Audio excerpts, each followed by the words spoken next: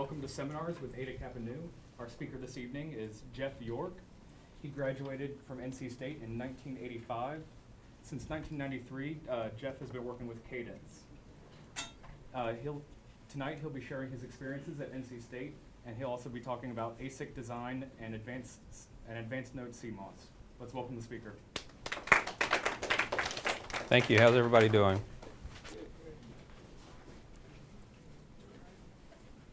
Nineteen eighty-five. That sounds like a long time ago, doesn't it? Uh, just to give you a little overview, I'm going to just talk a, a little bit. Uh, when I when I told uh, Yi that I was a NC State graduate and former Eta Kappa Nu chapter president here, he thought it would be interesting if I maybe gave you a little history from back in those days. So I'll spend a little time on that. And I wanted to kind of give you a progression of uh, what I've seen in the IC industry from the time I graduated state to present day. Uh, may not be quite as technical as some of the seminars you've had. I'm not sure what, uh, what you've had in the past, but I will leave plenty of time at the end for questions and answers. If you want to ask me some, uh, some hard questions, I'll try to answer them as best I can. But I wanted to start off with some, with some very important statistics about uh, NC State show you how times have changed. So these were the, the four years that I attended NC State. Um, wasn't very pretty. Uh, 1981 through 85, we, uh, we didn't do too well. But the last four years have been much better. And hopefully you were all paying attention this Saturday uh, to this, this particular one to kind of finish off. So those of you that are seniors uh, will definitely be able to leave with a lot better feeling about this than I did. But I think uh, for most of us alumni, this is one of the most important statistics about the university. Talking a little bit about the electrical and computer engineering department. Uh, I don't know how many of you recognize the building in this picture. That's uh, Daniels Hall. Of course, that's where we lived back in, in 1980s. Uh, th this campus wasn't here. So all of Double E was in Daniels back in those days. Um, including in the basement of Daniels was an actual IC foundry lab. I don't know if that, I doubt it's still there, but uh, we actually could process wafers in the, in the basement of Daniels. There was a, a, lab in there that ran, I think it was a four micron NMOS process that we were running in those days. Also during the time I was here, the, the electrical engineering department became the electrical and computer engineering department. I think that happened around 1982. Uh, so when I first came in, we, we, were just calling it double E, then it became ECE, and the first uh, computer engineering degrees were offered at State. Uh, I think probably maybe class of 84 was probably the first year that anybody could get a, a computer engineering degree. I don't know how many, how many here today are computer engineering versus electrical engineering? Have computer engineering and electrical? So it's still, still more electrical than computer, I guess. But I don't know what the difference is today, but back in those days it was whether you had to take power or not. So that, was, uh, that was the main thing. Eta Kappa Nu back in those days, I was just talking to your, your president, and he was telling me that the size of the chapter is about 150 now. So it's grown quite a bit from the days that I was uh, in, in Eta Kappa Nu. I think we had between 40 and 60 members back, back in those days. And I think the initiation rituals possibly have changed from that time too. Um, one of the things that we did back then was called bridge making, and uh, you all know what the bridge is of Eta Kappa Nu if you're, if you're members of that organization. It's the, the emblem that you see here. But back in, uh, back in those days, one of the traditions of the chapter was every new member had to make a bridge out of wood. And you would have to, to carve this, this insignia in wood, and then in the center where the Greek letters are, you had to install a light that would work on a switch that you carry in your pocket. So if you can imagine, we would walk around wearing these things, you know, on a, on a, uh, a chain or a string around our neck. And you had this thing in your pocket, a switch that you could flip switch and make the middle of it light up.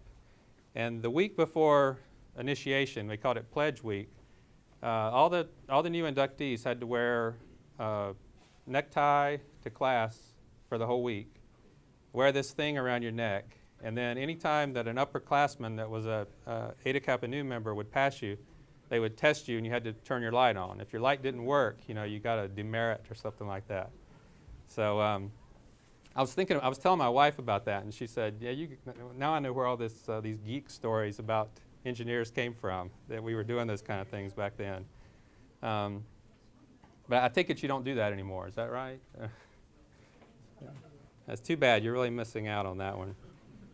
Uh, but we, we would have the pledge week, and then we would have an induction dinner. That was always held either, we usually have it at the barbecue lodge or at, uh, over at uh, Cameron Village. There was some cafeteria, I don't remember the name of it, but that's where we would go for induction night. 'Cause typically the classes were maybe about 20 people, and we would have, uh, have a dinner when we did the inductions.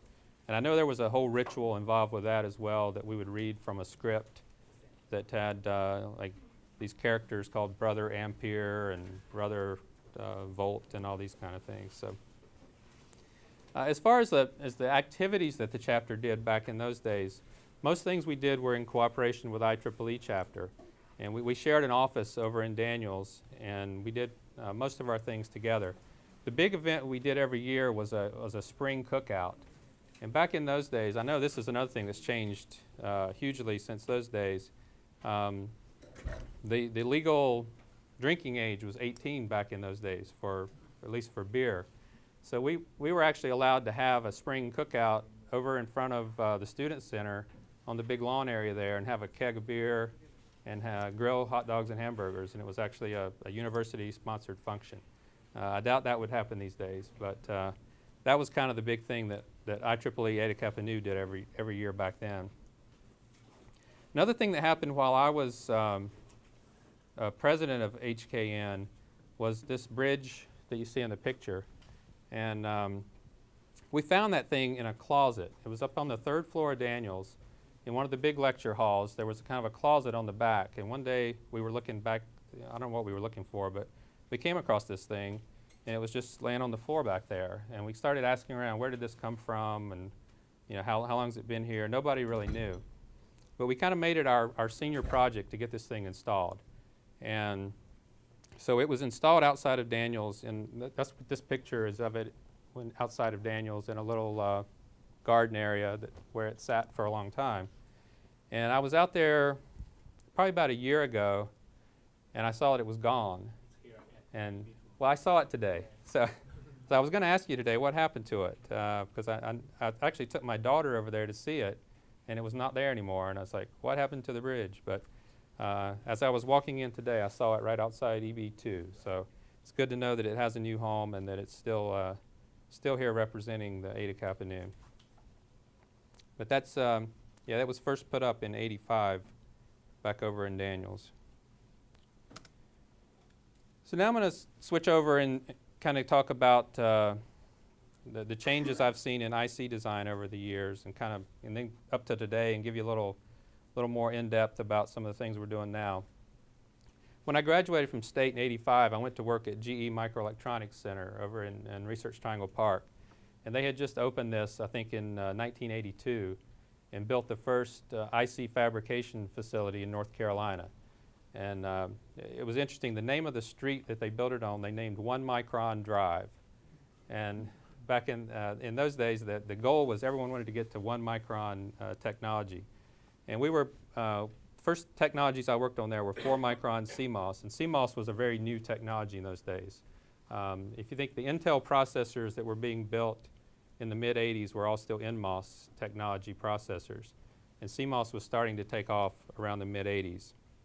We had a four micron CMOS line there. We were building uh, gate devices that had 1,500 gates, maximum uh, logic size that you could build, had one layer of metal. Uh, about a year later, we had moved to two micron CMOS that we could get up to about 10,000 gates and had two layers of metal. And, and this was the, the basic flow diagram of how we designed chips in those days. There's not a whole lot of blocks there, and it was kind of very primitive in, in probably what you're learning today we did this thing called schematic capture. And, and you, I'm sure you know what schematics are, but in those days there were engineering workstations, and when you designed even a digital logic chip, you would just draw gates in schematics and wire them up. So you basically have to do it all on paper first, and then you would just draw the schematic, and this is the function that I want to implement. So you do the schematic capture, then you would do logic simulation. That hasn't really changed that much. You would just come up with some stimulus to put in and see if you get the right answer out.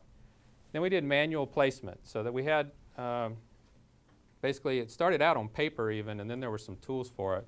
But you had a big grid and you would just like write on the grid where I'm going to place every one of these gates that I've drawn on my schematic, and then you would go in and uh, a terminal and type it all in. And that's how we would place the gates. We did have an automatic router, so we ran a tool that would route, route the uh, wires up. And then we would do finally logic simulation with delays after we had the thing routed to see if it was really going to work. And that was pretty much the design flow for doing a chip. Um, as you can imagine, you know, when you're only doing 1,500 gates, it's not that bad. You can, you can probably get this done in maybe a month, something like that. Um, so from a productivity standpoint and what was available in those days, it wasn't so bad. Another interesting thing about uh, GE Microelectronics Center is it was an inc- incubator of a lot of companies back in those days. Uh, you've probably all heard of Synopsys uh, company, which is kind of the main competitor of Cadence, but it actually was incubated out of the GE Microelectronics Center. There was uh, the this current CEO, Aart de Geus of uh, Synopsys, worked there, and they started a little group called Optimal Solutions, and they were kind of starting out this thing called logic synthesis, which nobody had ever heard of. And it was the idea that you could actually just write a description of the, the Boolean function you wanted to implement, and then a, a program would implement that in Gates for you. And that was a really new technique back then. Uh, they ended up creating a you know billion plus dollar company out of that. Uh, another little company startup called ISS, which was doing um, physical verification software, like design rule checking and that sort of software.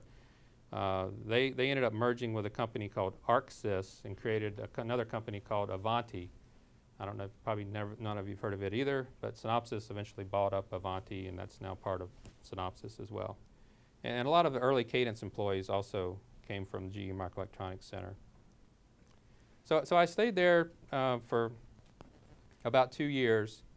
Um, around the end of 86, I, I kind of experienced my first uh, layoff in the industry. GE laid off some people, and, and I kind of got disillusioned because I, uh, a lot of people I'd worked with were gone, and, and it's like, well, this is no fun. You know, the company's uh, doesn't like the employees, and, and it was kind of a, you know, as a young engineer, it was it was kind of a, a bad thing to go through.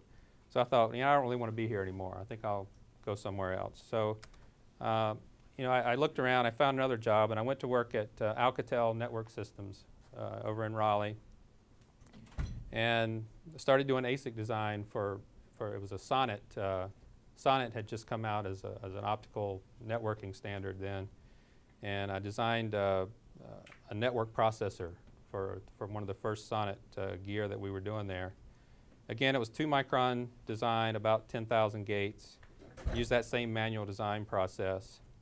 Uh, but, but as I was there, I learned what I call life lesson number one, which is money does not equal happiness because uh, kind of the, the thing was, you know, they, they drew me there with more money. I got there, and I was only there about a year, and I realized that, you know, I didn't like this job. It, it was not a good job. It was just the environment was not good.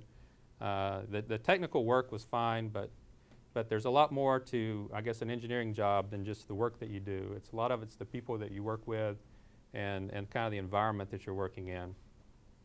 So, so I learned that lesson and talked to some of my friends and, and did what I called the escape from Alcatraz. Uh, that was, it, it had gotten to the point that most of us that working there called it uh, the Traz. It was, it was Alcatel, but we called it uh, the Traz. And uh, so I escaped from Alcatraz and actually went back to GE, uh, which I called Jimmy G Semiconductor Take Two. And, and because they were they were doing some exciting new technologies there. Uh, they were doing this now 1.25 micron CMOS, uh, which was uh, I think we called uh, advanced advanced cell or something like that. Still only two layers of metal, and we were also doing something called silicon on sapphire, which I don't know if you've heard of, but it's um, actually the wafers themselves were sapphire uh, substrate, and then you deposit silicon on that to build to build the chip. So it was similar to, to maybe uh, SOI technology of today, uh, but the, the wafers were actually translucent because the the sapphire you could see through. It was kind of a pink, pinkish color. It was they were pretty cool to look at. And we could now get up to about 30 30,000 gates on a chip. But then it came along um, 1989, so shortly after I'd gone back. Uh, Neutron Jack Welch, I don't know if, how many of you have heard of him, but if you do any kind of like business studies, uh, Jack Welch was the CEO of GE for a long time. And hi- his nickname was Neutron Jack back in the 80s because the, the, the, the story was that usually when Neutron Jack came in, the buildings were left standing, but everything else was gone. So it was kind of like the neutron bomb of, the- of the day. Um, he came out with an edict around that time, and he said, in GE, if you're not number one or number two in your industry, no matter what you do, we're going to either fix you, sell you, or close you. Those were the options. Well, of course, we were not number one or number two. We were a pretty small little microelectronics uh, group.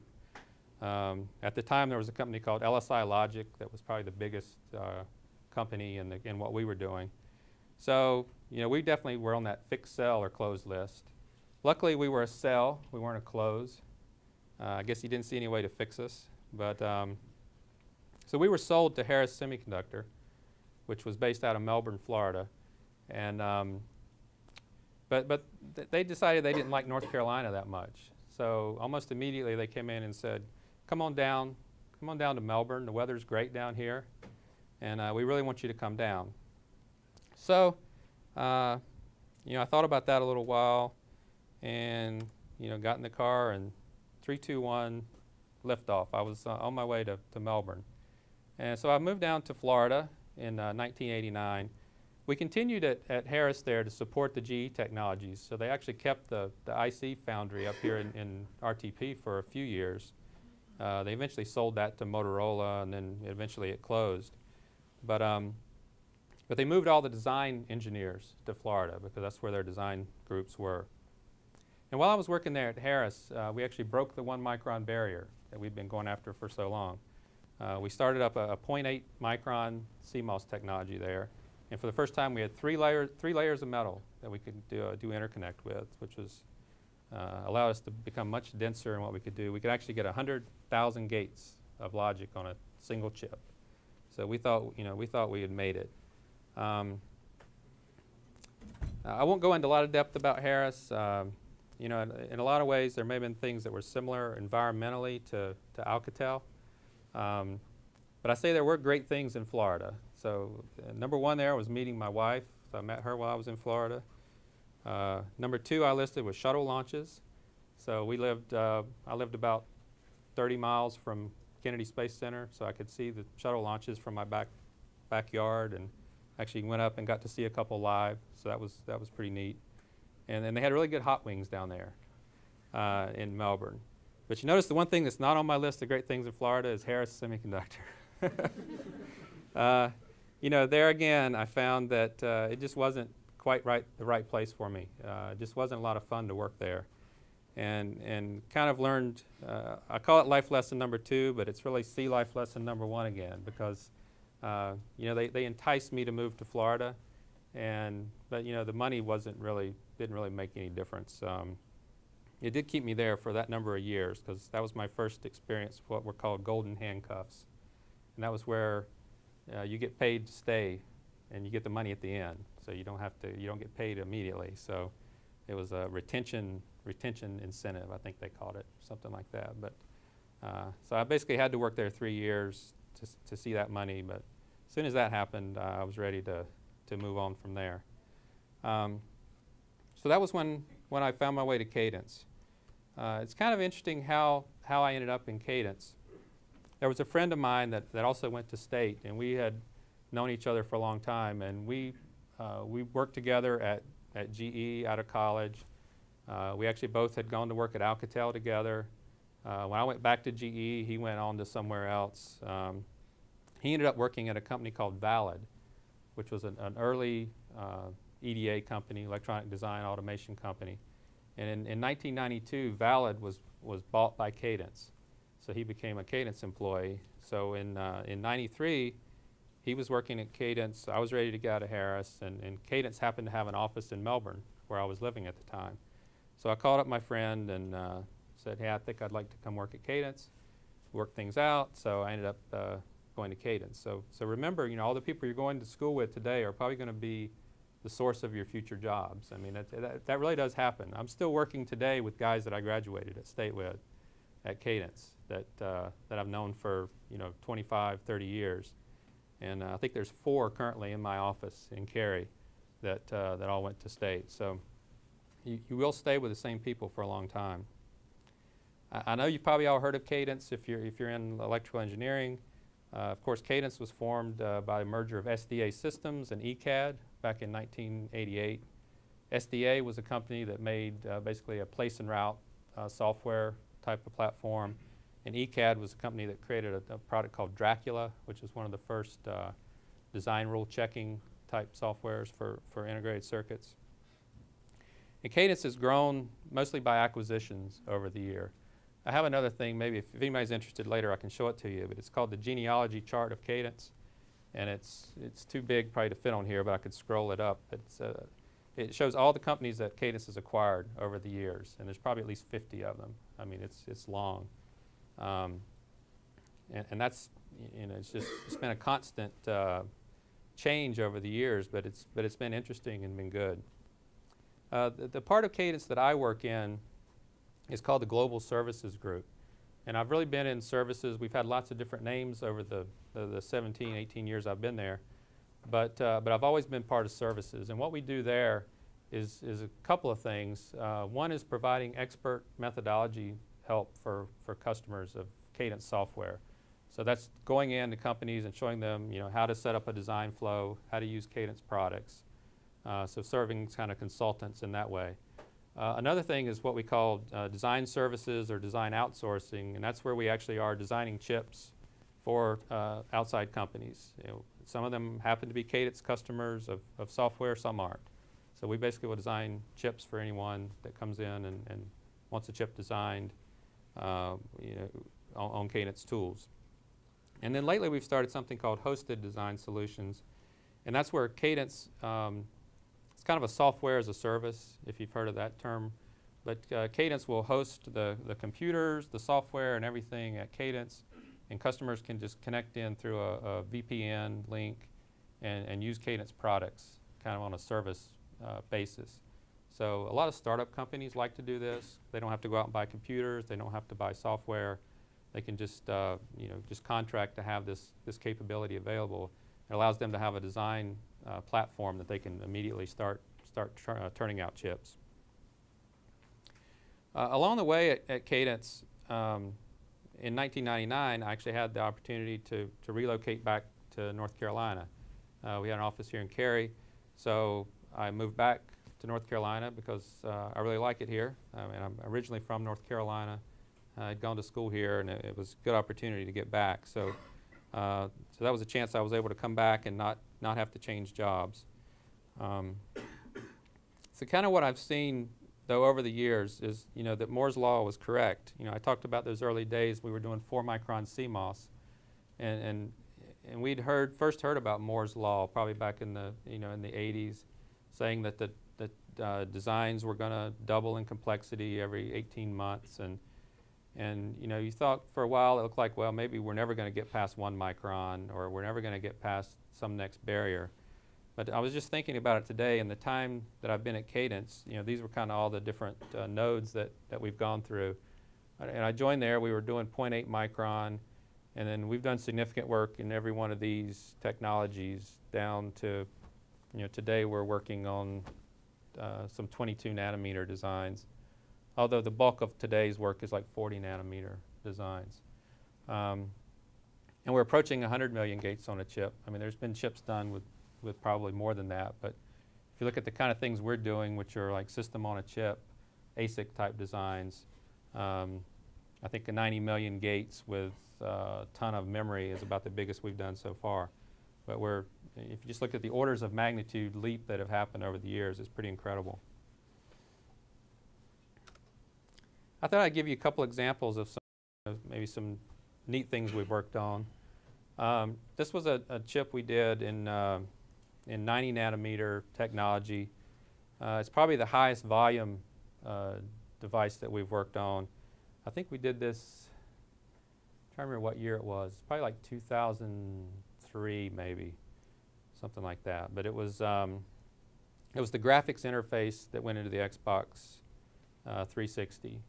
Um, and so I guess there's been like 31 million of these things made so far. So I mean, by far, it's the it's the highest volume part that we've worked on. Uh, but it was it, it, was a very interesting chip that we worked on. Um, I don't know how much you know about how like Xbox and these things are put together. Um, generally, the end, the, the, the people that sell it aren't really involved that much in, in designing it or building it. Uh, they're marketing companies. So the, you know, this particular um, device, IBM had a lot to do with it. So if you know the, the processor in an Xbox is an, is an IBM uh, processor. The graphics card was an ATI uh, graphics uh, chip. That was a, a, custom graphics chip that we designed, and then like Cadence designed the interface, which basically one sat on the processor chip, one sat on the graphics chip, and it was kind of a, a proprietary uh, backplane interface that operated at, at two gigahertz. So um, it's just interesting how these things get pulled together. So some of the we had to do things on this uh, design like uh, like creating uh, coax shielding you see here on on uh, on chip. If you think about that, what we were doing, we were routing these high-speed clocks. So we put we had to put layers of metal around. It was we've done a lot of 2D shielding, but in this one we actually did 3D shielding. So we were shielding the clocks both uh, horizontally and vertically using the metal layers on the chip in order to uh, cut down on noise. And there's really no tools to do that today. So you have to, that, that pretty much has to be done in some custom fashion. So we came up with a methodology for, for implementing that. One of, one of the biggest things that we deal with today is, is power on, uh, on ASICs. And I've seen that become more and more of an issue. Uh, this just kind of gives a breakdown on typical ASIC or system on chip, like where the power is used. And you see the biggest part of it's used in the clock network, uh, either the clock tree or in the actual the clock portion of the flip-flop switching on our design. And, and, there's various parts in the other part, but um, so a big focus is always how can I reduce power on chips, and, and you can imagine why. You know, going into cell phones and iPods and all other kind of, uh, of equipment. So, so here's an example. If you remember that little five box flow diagram I showed earlier of how, you know, how we designed chips back in 85, this is kind of a front end design flow today for, for like a low power chip. Uh, it's kind of an eye chart. Uh, I'm not going to go into it in a lot of detail. But if you look at some of the key points, you know, today we're doing things like, you know, like uh, SystemC, C++ as an entry language for, for chip design versus drawing out schematics. So you know, today you can write algorithms in C, and we have, uh, Cadence has a product called C to Silicon, which can take uh, C code and turn it into RTL code, so register transfer language code. And then you can, obviously go from there through um, normal design synthesis like you would do down here. So you know, you can get from C to RTL code, uh, you know, most of the RTL code for a lot of system-on-chip designs is going to be IP, uh, you know, intellectual property that you would go and purchase, say like an ARM processor or something of that nature. Uh, power is looked at all through this phase now. So within the industry, there's there are several different formats. Cadence supports one called the CPF, which is a common power format. And what it allows you to do is, is capture your power intent uh, together with your design. So up front, you say, okay, I'm, I'm going to design, you know, this multi-core, um, say, cell phone platform that's, that's going to uh, be able to do, you know, a cell phone, a MP3 player, whatever things you have on it. And, and you design up front and say, okay, I want this one to power down in certain times. I want this one to you know, only be powered on. I want to have this little always on block over here that controls when things power up. And, and all that stuff can be captured in the intent up front. And then the design tools that are available today from Cadence and, and other uh, providers can take all of those input files and basically you know, pull them together and get you down to a point that you've got a design that can go into you know, synthesis and physical implementation. So if you imagine how, you know, how complex this flow has become nowadays um, compared to what it was, but you know, you're talking about you know, tens of millions of gates that are going into a device, single device now, versus thousands in the past. So you have to have a lot more um, uh, capability in order to do that. we've also been looking at, at a lot of advanced uh, low power techniques. Um, there, there's a number of techniques that have been used for, for quite some time. Um, clock gating is one, if you're familiar with that. That's just a case where you, you gate off your clock so that it's not switching when you're not actually needing it. That, that can, as you see, that could save a lot of power because that's where most of your power is going on a chip. Uh, but what's happened is the technologies have gotten smaller. When we really went beyond about 90 nanometer technologies, the leakage power just grew exponentially in, in CMOS technology. So what happened is um, it got to a point where maybe you know half the power on a chip would be leakage current just from the devices not switching at all. And it's just uh, the nature of, of the technology getting smaller. So techniques have, have to be ad, uh, adopted to try to cut down on, on leakage power as well as on dynamic power. So some of the techniques that, that we've been investigating the past few years, dual flops is a technique where you, where you combine flip-flop bits into a single cell. Uh, most of what we're doing is standard cell design, if you're familiar with standard cell implementation. So traditionally you always just had a flip-flop was just one bit with a clock and, and uh, you, you would put down however many you know, million of those you have on your chip. What we've tried to do now is combine those into multi-bit type cells. And what you can save is, is in the clock network within the cell. So those old traditional flip-flop cells would have like two inverters in them as a part of the clock buffering just for that one cell. Now you can combine, say, two bits or four bits in a single cell and still have two inverters uh, that serve as the clock buffer. So overall, you can reduce your, your clock network power by 30 to 40 percent just by cutting down the number of switching buffers you have uh, in your clock tree there. Low swing clocks is just a matter of reducing voltage on your clocks. Uh, back biasing is something to deal with leakage.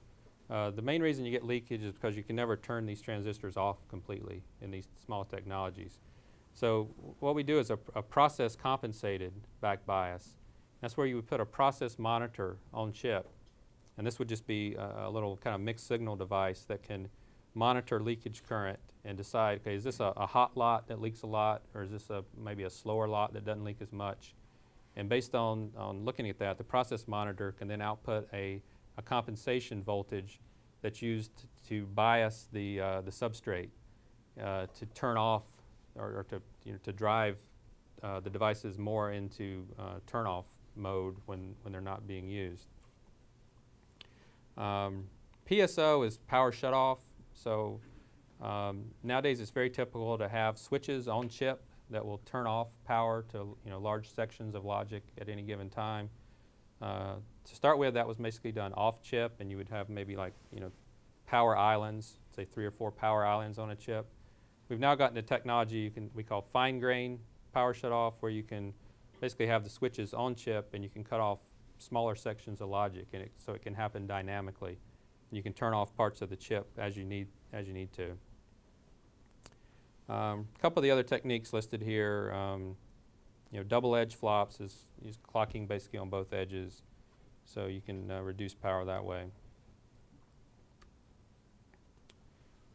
So I showed the front end flow. This is more of the back end flow for low power uh, implementation. This is more of a block level, but really the top level is similar. Um, so you start from a point of, you know, most of these flows start from RTL code of a design. So you have register transfer language description of a, of a chip that you want to build. And you take that uh, through logic synthesis. This is a power driven one, so, so you would bring in one of those uh, common power format files together with it. You have to bring in uh, timing constraints together with your, your RTL code. And all these things are, are the input to a design flow. So they would drive the synthesis process, which will give you basically a gate level representation of a design. And then we take it through uh, you know, clock tree synthesis, placement and routing, and all these are pretty much automated processes nowadays. Um, Cadence has a, a product called uh, SOC Encounter, or uh, latest version we call Encounter Digital Implementation System, EDI. Uh, I don't, you, you, guys probably use some of those tools here, I'm not sure, but um, basically that's the tools that we use to implement these designs from, from netlist all the way to uh, a, a tape out uh, database. So this flow, this uh, flow has gotten a little more complex than what it was, you know, back in the 80s as well, when we were hand placing and and uh, routing. I want to show a couple more uh, design examples. This was a, a 32 nanometer test chip that we just did uh, last summer, um, well, summer of 2009, and it was really it was the first uh, kind of 32 nanometer chip that was, was that went through this particular foundry, uh, you know, as a real design. Uh, it was a kind of a multi-architecture JPEG. This was one that was driven uh, using that C to silicon product that I talked about. So there was a JTAG, uh, I mean a, a JPEG uh, processor that was written in C code that was targeted uh, into this technology using C to silicon, and I think there's like four, I believe there's four JPEG engines on the chip. Uh, an ARM M0 uh, proce processor core, analog digital converter that runs at 80 megabits per second. We also put some of the low power features in, uh, dual edge flop experiment. And uh, it was a design that, you know, that we taped out in the 32 nanometer. And we've got, you know, parts in the lab now that are working. This was a, you know, a fairly small chip. Um, but it was done as a, as a test chip back in uh, 2009. And compared to that one, the, the biggest actual, um, I guess, customer design and production type design that we've done was a was this 156 channel fiber optic switch that we also completed back in uh, 2009. This was a 65 nanometer design. But if you look at the size of this chip, 20 millimeters by 20 millimeters. I don't know, you know how much you know about that, but that's pretty big. I mean, that's uh, especially in 65 nanometers. Uh, about the biggest chip that you can build is, is around 25 millimeters, because that's the size of what they call a reticle. So that's the biggest image that they can actually pattern on a wafer. So this one was, you know, kind of approaching the physical limits of what can be built. Um, the interesting thing about this design, you if you look at this floor plan, this thing, this whole section in the middle was a mixed signal block, and these were optical, uh, basically optical serial interfaces uh, for the whole 156 channel. And the way this thing was designed, this chip was not even going to go into any sort of package.